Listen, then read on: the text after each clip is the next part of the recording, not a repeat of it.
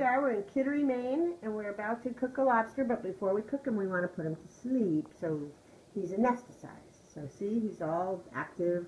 Yep, there's, yep, yep. Oh yeah. So now we're going to rub right here on his forehead, and watch as his arms are going to start hanging down. This is not a wives' tale, people. This really works. I've seen her do it to another lobster before. But So see it- how calm he is before, like already, his arms are way down. Not fighting anymore. We don't know why it works, but apparently it does. Now's your chance. There he Head goes. Head first. Head first. So he didn't feel a thing. He didn't scream. There was nothing we like don't know that. whether he felt anything, but he didn't scream for sure. He didn't scream. And that's how to properly cook lobsters. There, there they go. And what's the pop, proper cook time? Uh, what size are they? Pound and a quarter. Pound and a quarter. I would say we're going